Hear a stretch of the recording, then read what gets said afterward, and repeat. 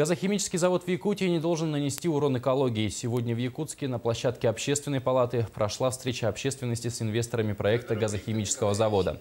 Этот проект вошел в список территорий опережающего развития на Дальнем Востоке, представленный в Минвосток развития. Планируется построить завод в поселке Нижний Бестях Мегино-Хангаласского улуса. Реализацией проекта займутся индийская компания Global Steel и отечественная компания Ростех. Строительство предположительно начнется в 2017 году, а завершится в 2021. Все работы начнутся только после получения набора требований к параметрам этого завода, заверили иностранные партнеры.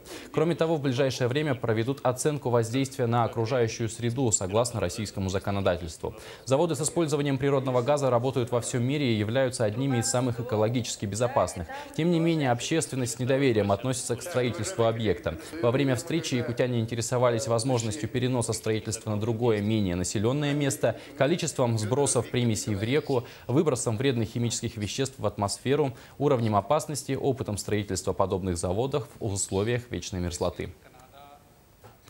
Уважаемый участник совещания, у нас население давно знает, что такое интернет, и уже видели, какие последствия а, постройки такого завода могут быть. Какая-то авария, тем более при нашей температуре. И поэтому наши жители все против этого. Готовы ли вы свою семью поселить рядом с тем населением, которое будет проживать рядом с заводом? Вот искренне скажите. Я работаю с, с такими заводами 18 лет.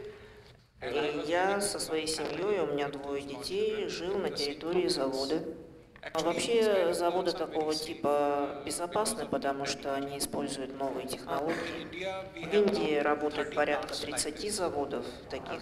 Пока не было никаких э, ни аварий, ни выбросов, утечек на подобных заводах. Как отметили организаторы, это не последняя встреча. Мнение общественности будет услышано, а строительство завода начнется после проведения оценки воздействия на окружающую среду.